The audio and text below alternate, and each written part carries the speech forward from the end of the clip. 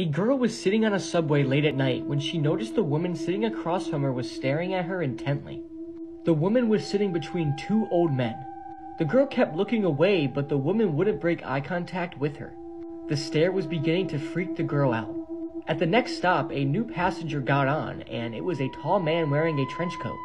He then sat down next to the girl, and the woman paid no attention to the man in the trench coat and she just kept looking at the girl who was getting more and more creeped out as time went on. The two men didn't even glance in her direction. She pretended not to notice, but every time she glanced at the strange woman, the stare continued. When the train was pulling into the next stop, the man in the trench coat got up to leave, but suddenly he grabbed the girl's arm tightly, and as the doors opened, he dragged her off the train. The doors shut and the subway pulled off, leaving the girl alone with the man in the trench coat. She started screaming out loud, begging for help, but the man in the trench coat then said, Calm down, I just saved your life. I didn't mean to scare you, but I had to get you off that train. The woman sitting opposite of you was dead, and the two men beside her were holding up her body.